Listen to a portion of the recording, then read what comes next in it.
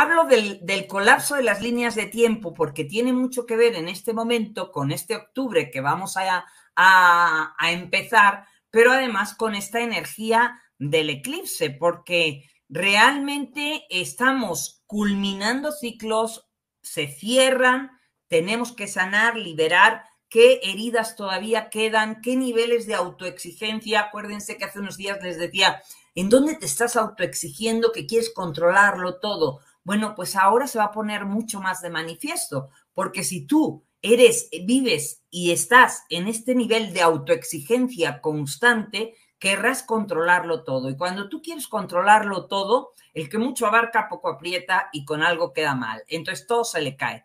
Entonces este es un momento precisamente de ver en dónde te estás autoexigiendo hacer de determinada manera, donde te estás desconectando de verdaderamente estar tú en el equilibrio y estar en armonía.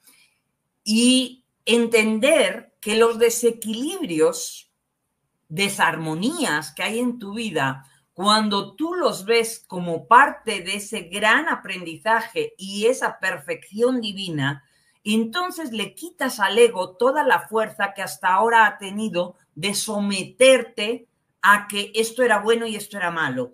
Entonces, en estos momentos, en este colapso de líneas de tiempo, están ocurriendo muchísimas cosas. ¿eh? Algunas pueden, no ser tan claras, eh, y tan comprensibles en estos momentos, pero está moviéndose a nivel de tu ADN todo un cambio que viene a nivel eh, familiar, social, cultural, en relaciones, en todo lo que se mueve, donde tenemos que tomar nuestra posición en el mundo. Es decir, si yo no estoy de acuerdo con algo, hoy tengo que hacer valer mi voz. Hoy tengo que expresar mi verdad. Hoy tengo que atreverme a hacer y a decir, no, por aquí no paso.